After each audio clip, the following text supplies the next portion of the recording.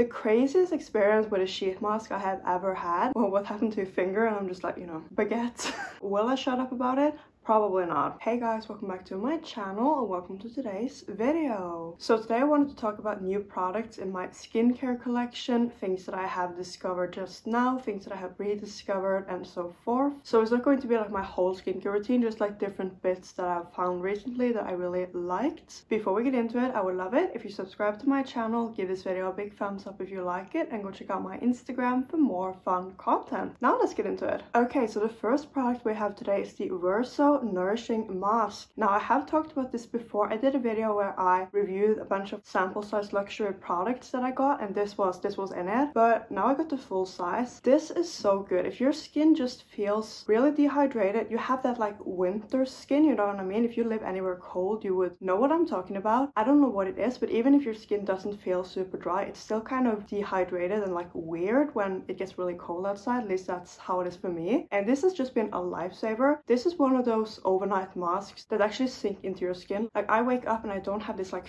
film on my face of just like oil and greasiness that some masks give you. Sometimes I also use this like in the morning before my makeup if my skin was feeling particularly dry. I didn't feel like my moisturizer, you know, did everything for it. I just put on some of this. I've actually been using this around my eyes as well, just all over because I get a lot of dryness around my eyes and I really noticed that when I put on concealer sometimes it just gets super patchy and weird and it doesn't irritate my skin at all, not even my eye area so that's been great. It's fragrance free, has a lot of like nice ingredients so I'll definitely check this out. I just love the packaging. It's so minimalistic and simple. It is pricey. If you get it on sale though, I got like 25% off I think, so it wasn't that bad. And a mask is something you probably don't use it every single day. A little goes a long way. So if you do struggle with a lot of dry skin and you really just need something to fix that, I would recommend it. I've said this before, I love a cheap cleanser, I love cheap moisturizer, but some products I like to invest in because I definitely feel like it's worth it and they are better than a lot of the drugstore alternatives. Next up, I wanted to talk about the sheet masks from Simple Skincare. Now, I only tried this yesterday, but I was absolutely blown away. And often with sheet masks, I'm just a bit like, I love the experience, it feels like luxury, makes my skin feel hydrated. This mask, it wasn't this one, it was the one called Coconut Water Hydrating Mask or something like that. I'll put up a picture. The craziest experience with a sheet mask I have ever had. My skin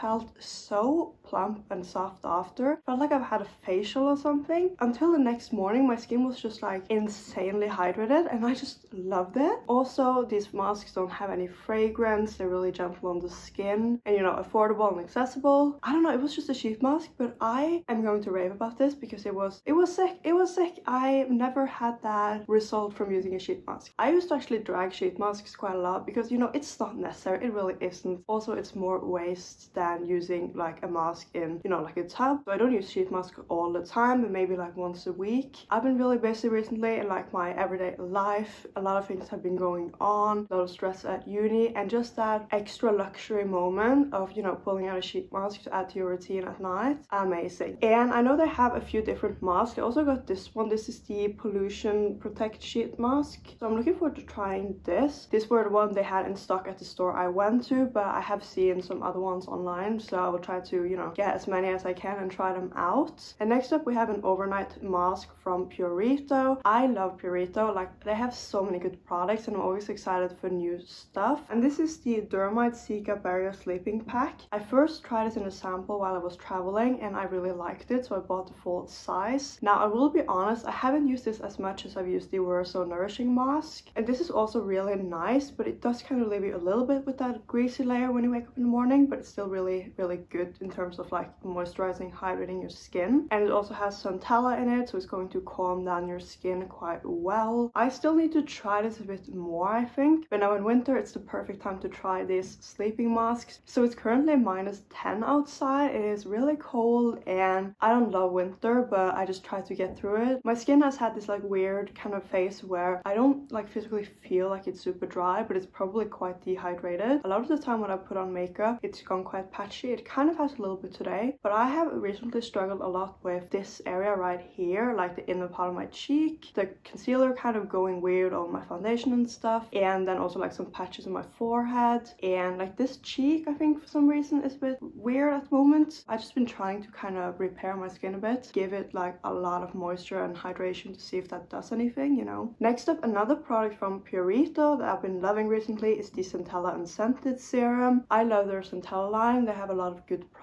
and especially the unscented one I really like. This is a serum that it's not going to like change your skin forever. It's like the best thing ever. It's just a nice serum, like a nice basic serum that calms down your skin and gives you hydration basically. Although I will say I also have the Centella Unscented Toner. You do not need both of these at the same time. These are literally the same thing I feel like in a toner and in a serum. So, you know, you don't need both of them. So if you just need a serum or a toner that's just going to calm down your skin and hydrate it, would really recommend. And next up, I pulled out the CeraVe Micellar Water. I talked about this in a video where I discussed saving money on skincare. I have really been liking this. Like I said in that video, I went from using the La Roche-Posay Micellar Water, also really good option, but it is more expensive than this. It's really effective at removing makeup, doesn't irritate my skin. Yeah, it does what a micellar water is supposed to do. So, you know, if you can get your hands on this, I would really recommend it. Also, by the way, my thumb is fine. It was just like one of those classic moments where I was cutting up a baguette and yeah, slipped a little bit. It's fine. It's just, you know, taking a bit of time to heal. it probably looks a lot worse than it is. Gotten some questions like at uni, well, what happened to your finger? And I'm just like, you know, baguette. so next up we have the niacinamide serum from the Inkey List. I talked about this in my Tenerife vlog. I bought it at the beginning of that vacation and I tried it throughout. But now I've been using it for a few weeks and I still love it. Like I've said many times before, niacinamide on my skin doesn't seem to do like revolutionary things. Like it's not like when I started using retinol and really noticed a big change. I just think it's a nice serum. Niacinamide is a good ingredient. I like when it's added to things. And this was just a serum I picked up because I wanted to have an evening serum and I didn't bring one on the trip because I just didn't have one that was like easy to pack and stuff. The texture is a lot better than the one from The Ordinary I find. The Ordinary's niacinamide serum, it foams up. You know, it's not the worst thing in the world, but it's also not that nice. Also really affordable, so yeah, would recommend. Next up, if you have seen the Tenerife vlog, you would have seen this cleanser mentioned several times. This is my new favorite cleanser and I don't often say that because most of the time I'll buy a new cleanser, it will be totally fine, but I won't go as far as saying this is like my new favorite, I want to use this all the time. I don't know how many times I can talk about this without people getting bored, but I love it. So this is a gel cleanser. It comes out as a gel and it foams up to like this really fine foam. I like to compare it to the CeraVe foaming cleanser, which I do also like, but that one foams up to like larger bubbles, which is not my favorite kind of thing, whereas this just has like the finest foam. Will I shut up about it?